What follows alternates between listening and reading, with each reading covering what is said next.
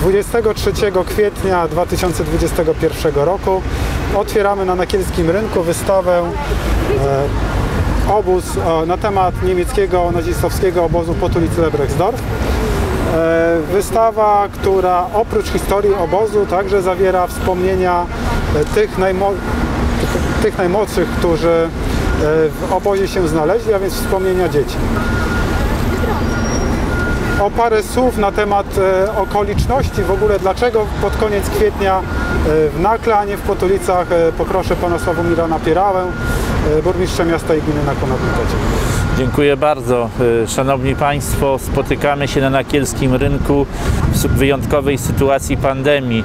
Ja chciałbym powiedzieć, że mimo to staramy się, aby wszystkie najważniejsze y, uroczystości święta o charakterze patriotycznym były przez nas upamiętnione. I tak jest też i dzisiaj. Y, Wspólnie jesteśmy, aby otworzyć dla naszych mieszkańców wystawę pamięci. Wystawę, która przypomina nam tragiczne losy naszych rodaków, Polaków z całej, z terenu niemalże całej Polski z lat drugiej, z okresu lat II wojny światowej, którzy zmuszeni byli do przebywania y, w hitlerowskim obozie, niemieckim obozie w Potulicach.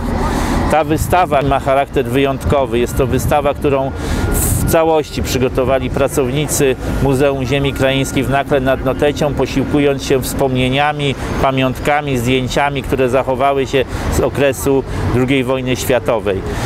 To żywy przykład historii, gdzie możemy zobaczyć, jak było, kiedy oddalając się coraz bardziej czasowo od tamtych lat, często zapominamy, jak tragiczne losy y, dotyczyły naszych rodaków, naszego narodu. Niestety dzisiaj nie możemy się tak jak co roku spotkać wszyscy i więźniowie, i ich rodziny na corocznym spotkaniu właśnie w Potulicach, którzy przyjeżdżali, przyjeżdżają każdego roku do Potulic.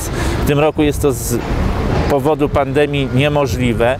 Zatem chciałbym z tego miejsca wszystkich pozdrowić, pozdrowić wszystkich tych, którzy, którymi, którzy chcieliby być dzisiaj w Potulicach, a którym nie jest to dane, jest to niemożliwe, tutaj znakła i powiedzieć pamiętamy, pamiętamy i pamiętać zawsze będziemy.